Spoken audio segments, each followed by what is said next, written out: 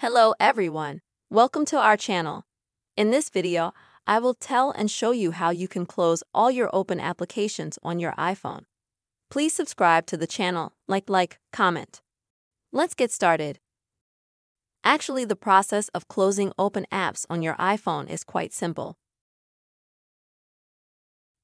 For this, you will need to make just one movement. For this, you will need to from the very bottom. Swipe up. That's the image. And you'll have an open app. Let me show you again. From the bottom, slowly swipe up. That's good. So this movement, it shouldn't be abrupt.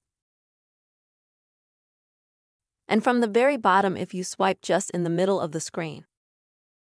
You'll see it won't work, you'll just have other windows.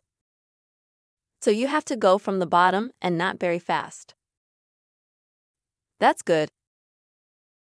Now how do we close them? Unfortunately, there is no function to close all windows at once, as on Android and iPhone.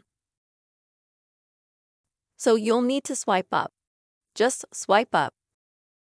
Just like this. And that will close them. The same movement can be done by using two fingers, two apps. And when you swipe them up, they'll close. And you can even do it with three fingers at once. So we've closed all the open apps. I hope this video was helpful to you, and you understood how to close all open applications on your iPhone. Also, do not forget to put your likes, write comments, subscribe to our channel, See you later.